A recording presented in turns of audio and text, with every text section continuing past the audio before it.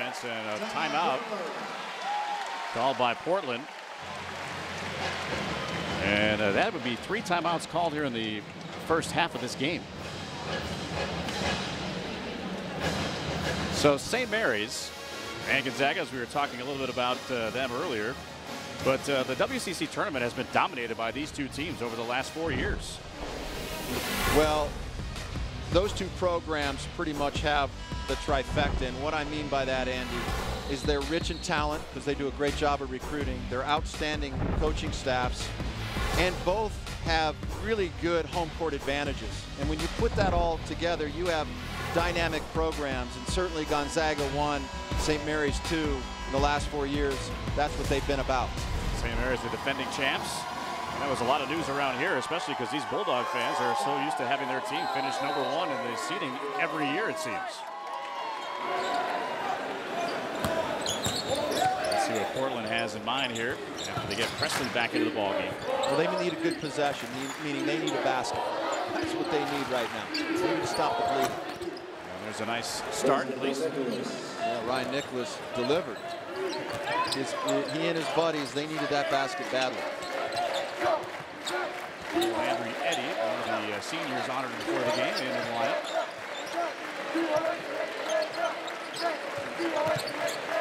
And now Pangos. That's that one.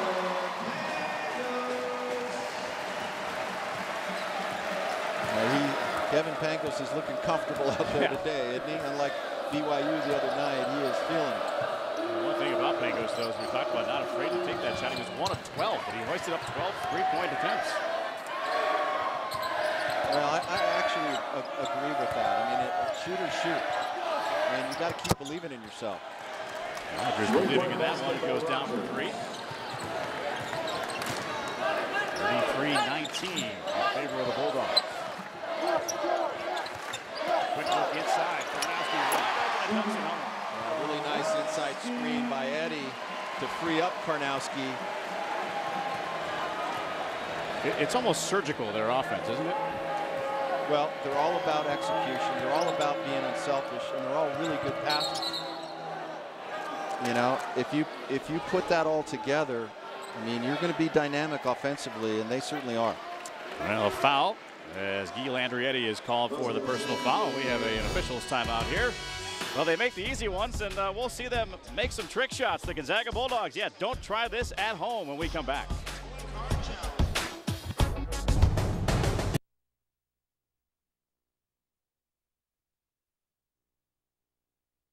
Gonzaga make all the regular normal shots, but how about some of these trick shots? And they put together a little video off the wall. Yeah, we got Kevin Pangos and Kyle Dranginis and Drew Barham. And this is phenomenal stuff. Uh, that's two. And, uh, you know, the third time's the charm, right? Yeah, right.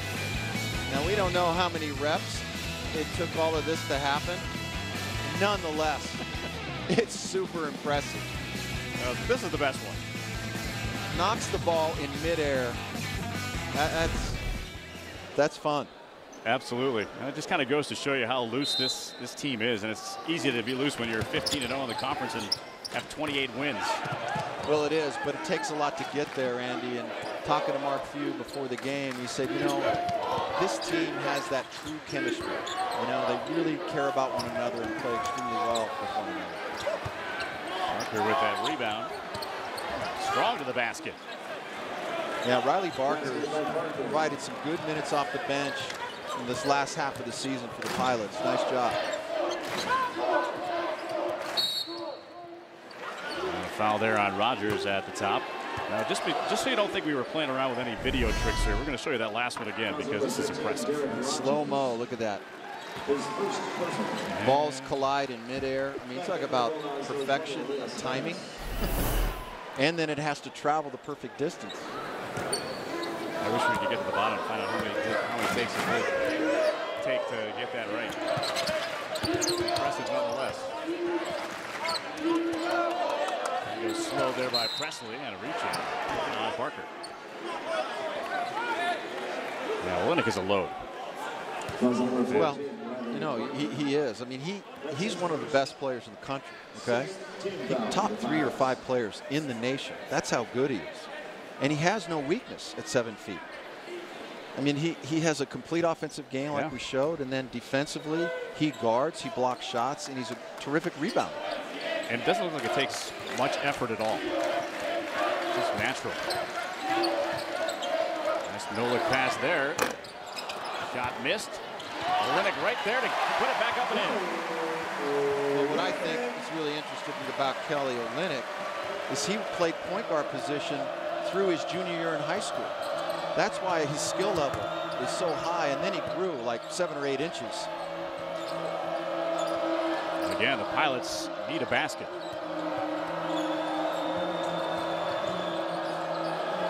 Pressley in some trouble.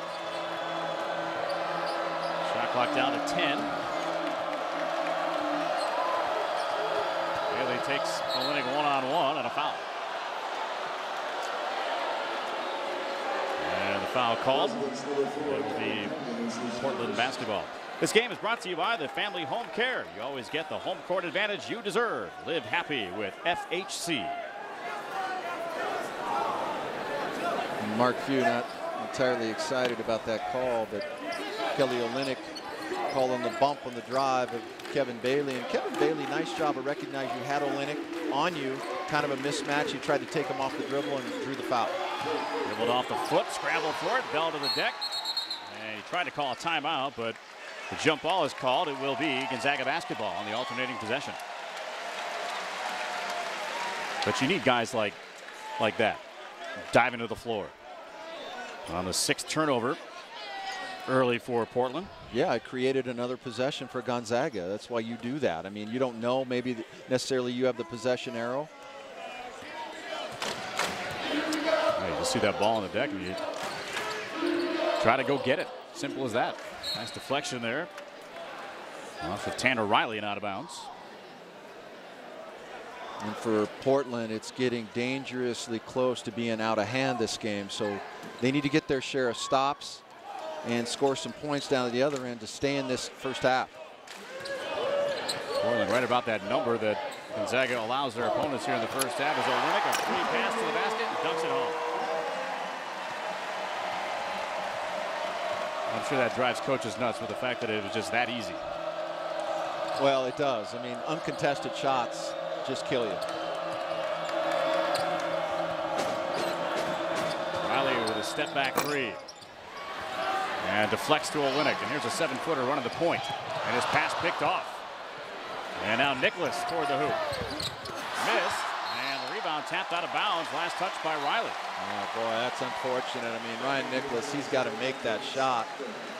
And uh, Bryce Pressley, terrific job of intercepting that pass. It looked like, you know, they had something going. They were going to get an easy two. So now again, the pressure on Portland to try to stop Gonzaga and keep this manageable.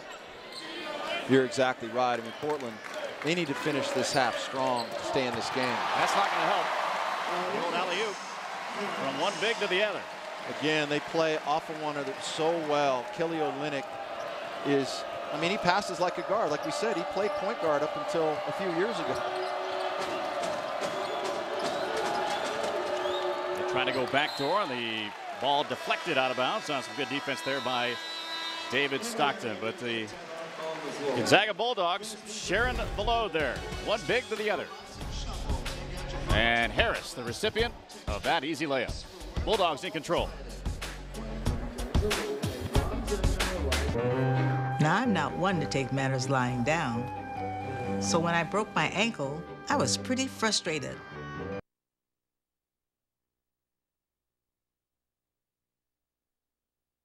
Bulldogs by 20, 41-21, 345 to go here in this first half. And again, coach the offense, uh, a lot of guys moving without the basketball.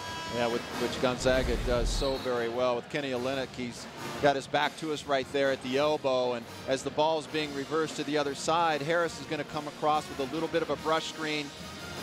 And then Olynyk with the great curl. And if you're Gonzaga, that's awesome. But if you're Portland, they got to play better defense than that. Gonzaga has 11 assists on their 17 field goals. As you see, Olynyk, six points, five rebounds, and four assists already. And they have made 12 of their last 14 field goals, and they have all been in that bunny range, right near the basket. They have. Well, again, they're selfless. They're all very good passers. One of the best passing teams in the nation. Rogers forcing the issue and leaving the layup short. Now the Bulldogs on the transition run. Harris. High archer. Good. And a foul. Again, Gonzaga off the rebound puts tremendous pressure on the defense. I mean, this is what they do so very well. Is they the quick outlet, guards available, that's Pangos, and then he sees Elias Harris just coming down the lane, too free if you're Portland a Portland defender, and and I really liked how Elias showed his athleticism there by avoiding the charge. Good body control by the big guy. And he converts on the and one opportunity, and you're steal there by David Stockton. And yeah, that name does sound familiar. He is the uh, the son of John Stockton. Started with the Utah Jazz for. Oh, he only had a 19-year career. All-time leader in the NBA in both assists and steals. That is rather impressive. And he could score a little bit too now. When needed. You know, a lot of people don't realize, Andy, second all-time leading in, in, points in the NBA. Second all-time is his teammate Karl Malone. Absolutely, the mailman.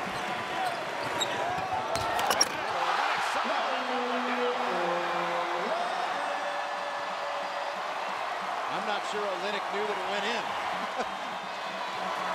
Because he kind of lost control of it. Hey, but it's your night, or your afternoon, it's your afternoon. It's been their season. 11-0 run again by the Bulldogs, and a near steal by Harris. But he'll reach in and commit the foul. Let's take a look at this and see if Olynyk actually did know that that ball went down. Well, David Stockton with the perfect alley-oop pass, and yeah, he, I guess he did see it. But you can see Barker does a good job of trying to disrupt the alley-oop, but Olynyk, he still took it home. And he'll take a rest with those eight points. As Mike Hart will come back in, guard the inbounder. Nicholas has missed a couple of shots inside for Portland.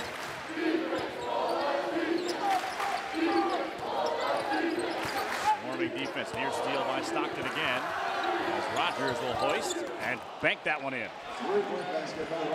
Derek Rogers, the lone senior for the Pilots, has made a couple threes in this game. Good job by him.